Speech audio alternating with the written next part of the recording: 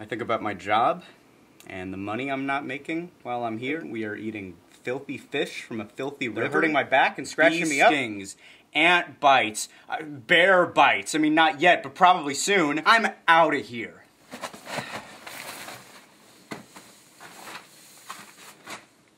What? Another tent? Screw this. I'm out of here.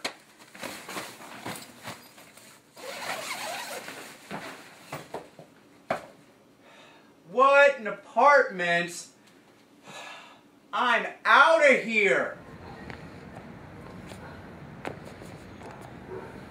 What?